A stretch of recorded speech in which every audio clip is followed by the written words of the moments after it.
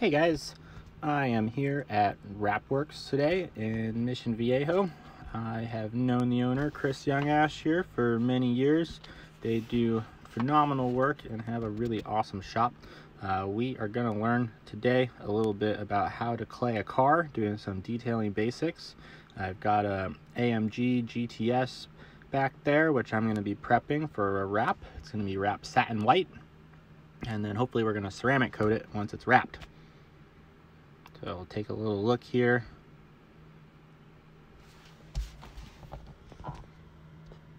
It's really dirty, huh? Not for long though. Oops, I tripped.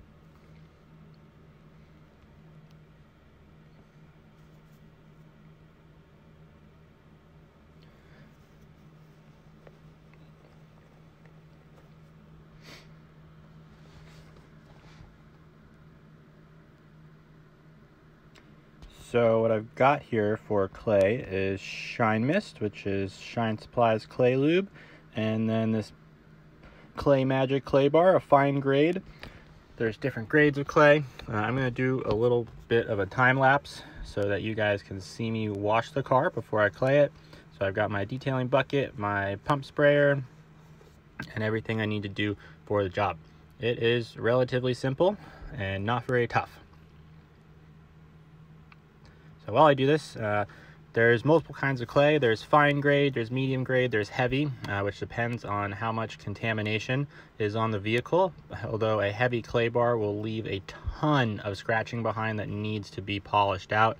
Uh, a fine clay bar may leave some marring behind if you don't clean it out enough as you go. Um, oh, I just lost my train of thought there yeah, so it might leave some marring behind. So generally after claying, it's good, you want to polish. So now we've got a nice clean car. So we're gonna start on claying soon. This thing is pretty badass. I love these cars. Uh, it sounds real mean too.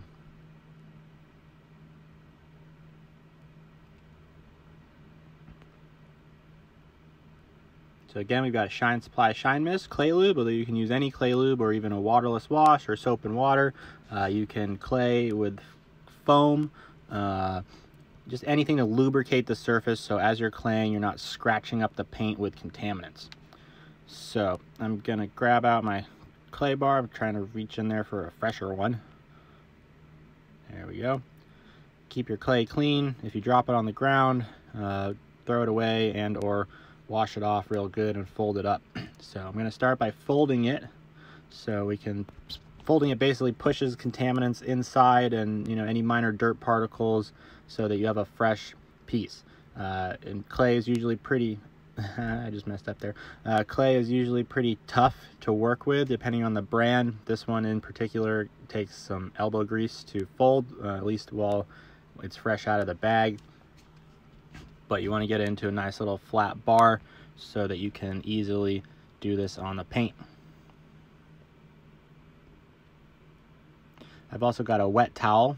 I like to go over panels after I've clayed them to wash uh, contaminants off because sometimes you'll notice that there's dirty, what looks like dirty water basically on the panel after you've clayed it, uh, or dirty clay lube in this case. So I'll go over it with a wet towel before I dry the car. So clay is basically it it's clay and it's taking contaminations off. So you want to do small sections, do, you know, because you want to focus and get the contaminants off. This car in particular was not very contaminated. One way to tell if a car is heavily contaminated is the paint feels really rough. So clay came up pretty clean. Uh, if it's dirty or nasty, usually it'll turn like an orangey brown color. And then once you get that, you fold it in uh, so you have a nice fresh blue surface. On a car that's not so bad, you might not have to concentrate in one spot. You can go a little bit wider. You can do kind of faster arm movements. Uh, but there'll be some cars where you're like, oh my God, this is gonna take me forever. You can just feel it dragging because the paint feels like sandpaper.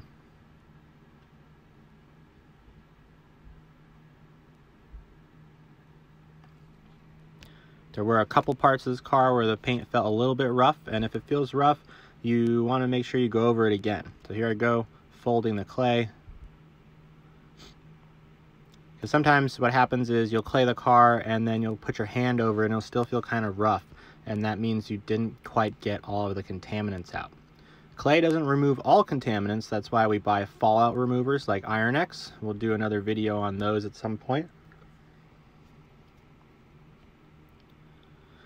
But the reason for this is so in this case to make the film adhere better and so you, there's no crap you know under the film uh, that could potentially cause like an imperfection to show. Normally for most of us detailers, we're claying a car before we wax it, before we put a coating on it, uh, definitely before you polish it, because if you try to polish a dirty car uh, that's contaminated, you're basically just polishing those contaminants into the paint, which could potentially do more damage or leave buffer trails behind or other uh, buffing marks that could be difficult to remove later. sometimes on cars where you know it's a big wide hood like this uh, it's hard to reach certain places uh, that's okay a lot of us struggle with that generally if you're polishing the car afterwards. It's okay if your pant leg touches the fender or something. Just always make sure you're wearing gym shorts or some sort of soft clothing so if that does happen. So see now I've done that section. I'm folding it up again so I can get a nice clean surface. I'm gonna spray some more shine mist on there. Uh, the center of the hood felt kind of bad, so I'm going at it again. Generally, the places that build the contamination the fastest and the worst panels are going to be the hood, the trunk, the roof, all the top panels that are most exposed. So typically a roof will have more contamination than any other part of the car. You might find that it takes you a minute to do a door uh, where you might spend a few minutes on a roof claying it.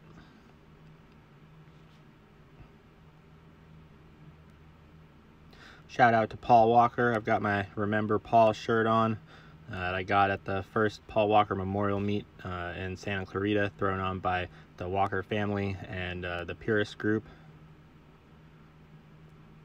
Rest in peace, dude.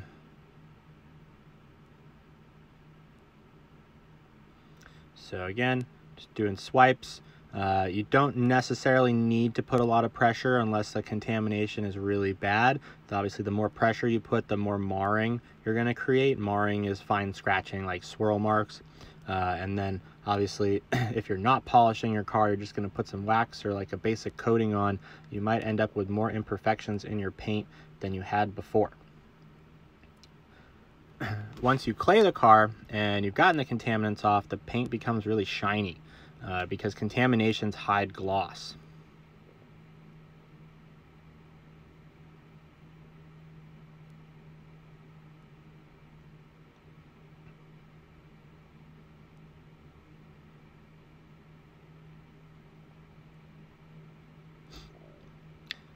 I would generally recommend uh, when you're doing this uh, to wear gloves or to have a towel put down so that when you're leaning on the car you're uh, not necessarily touching the paint, which could your hand could even scratch it up more. Uh, this car is getting wrapped, so I'm not horribly concerned because it has a bunch of watermarks and other crap on the finish. Um, you'll probably see in some of my videos that I don't always practice what I preach, but I have weird ways of doing things.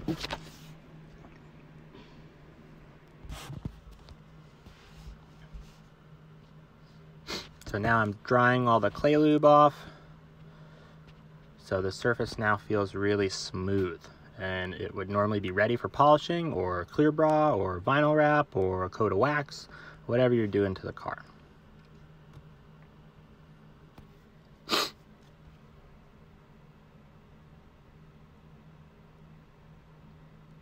Make sure you're thorough with drying because sometimes clay lube can leave some smears behind. Shine Mist is usually pretty good about it.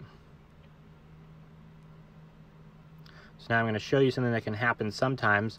Uh, if See how nice and shiny it is compared to other panels. But I'm going to show you what happens sometimes when you have things like vents or whatever that get in the way. As you can see, there's little pieces of clay that got caught on there. So you should always be careful of that. Uh, it can get caught on the edges of clear bra.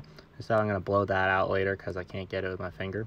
Um, but it can get caught on the edges of things or stuff like that. And then if your customer sees that, they're gonna be like, what the hell? Why is there all this blue or whatever color clay you're using everywhere?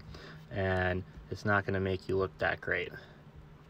So always double check. Usually, uh, if you, you know you get it on the edge of clear bra or something, if you catch it right away and you have a pressure washer or something, you can blast it right off. So I've got my clay, I did the hood, I'm gonna dunk it in my water bucket just to kind of clean things off, and then I'm gonna fold it some more.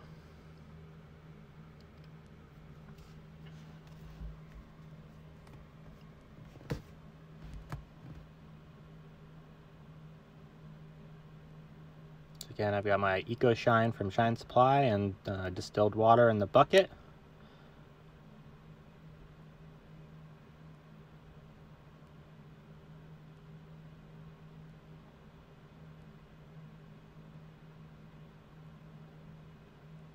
kind of show you how crappy the roof looks before I clay it.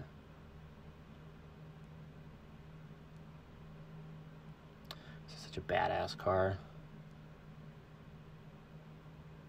The reason I'm doing a voiceover is because I didn't want to disturb these guys. They were jamming out to some reggae music and having a good time. I didn't want to uh, disturb their work day. So I've got my clay lube, which I sprayed on the clay and on the roof and here I go. Unfortunately, there wasn't really enough contamination on this for me to show you what contamination appears like on the credit or uh, credit clay bar. So the next time I do a video on this with like a really bad car or when we do an Iron X video, uh, I'll show you guys with that. Here comes Snooches, the Frenchie.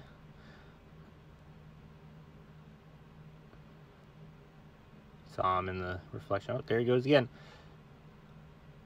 If you want to meet a really cute Frenchie, you should head on over to Again, they're right here in uh, Mission Viejo, California. Chris and I both sponsored the Gold Rush Rally this past year, uh, and we've known each other for many years.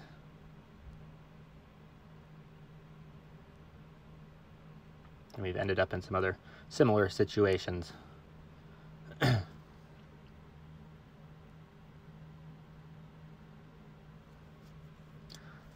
putting in some elbow grease there. Claying is not the easiest easiest task. It can uh, take a lot out of you or make your arms sore. I've been doing this for so long know, I've got those big buff clay arms so it's not too bad but I remember when I started particularly when I was working on shitty vehicles for uh, a minimal amount of money when I first started detailing I was beat after a day so here's a little time lapse of me finishing the car Man, if only I could actually move that fast. I also forgot to wipe it with the wet towel on that side. You don't always have to do that, but I recommend it, especially on a dirty, really heavily contaminated car.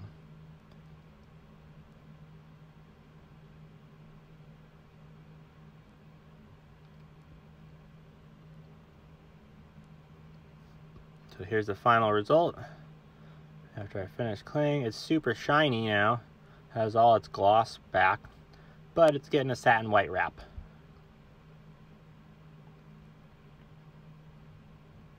That was pretty easy, huh? So, thank you for watching.